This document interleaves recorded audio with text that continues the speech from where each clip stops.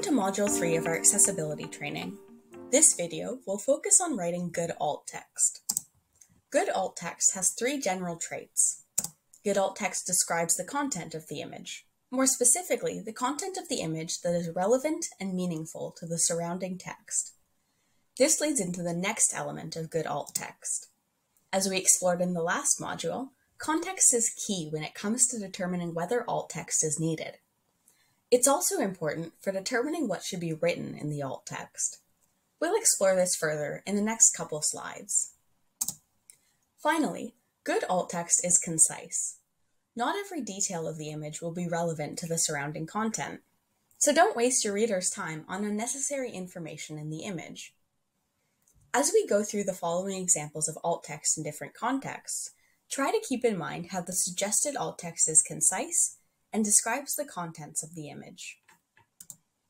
As we discussed in the last module, this photo could be used in many different contexts.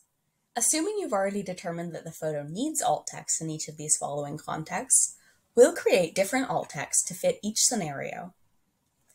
Our first example article is about Indigenous art installations in Ontario.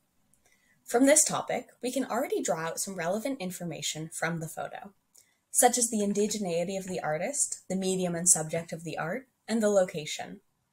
Therefore, some potential alt text could be Locavore by Indigenous artist Marie-Anne Barkhouse is a sculpture installation in Carleton University's quad that depicts a snowshoe hare and a western coyote.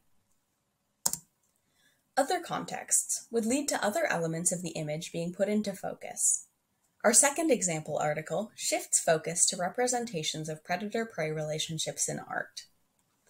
This would require different elements to be drawn out in the alt text, such as the artistic detail of the sculpture, as well as a description of the animals and the relative position to one another.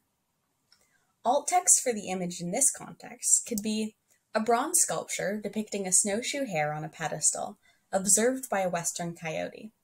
The pedestal places the hare a short distance above the coyote. In our final example of context for this image, it appears in an article about the unveiling of the sculpture at Carleton.